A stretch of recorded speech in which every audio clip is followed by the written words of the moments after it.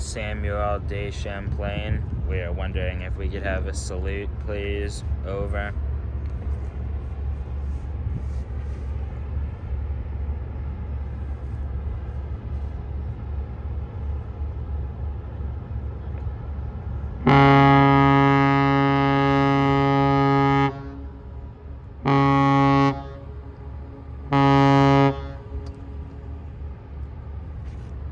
Thank you very much now.